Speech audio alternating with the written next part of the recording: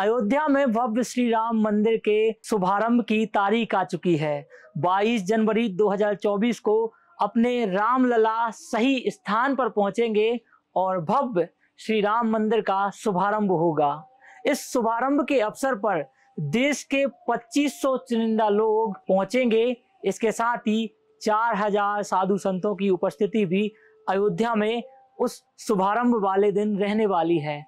आपको इस दिन क्या करना है? आप अगर अयोध्या नहीं जाएँगे तो आप अपने घरों पर दीपक जलाएँ और अपने आराध्य के उचित स्थान पर पहुँचने पर सबकी सुख समृद्धि की कामना करें और प्रयास करें कि घर घर इस अवसर को बड़े ही धूमधाम से मनाया जाए, बड़े ही श्रद्धा भाव से अपने आराध्य के मंदिर का शुभारंभ हम अपने घरों पर मनाएँ।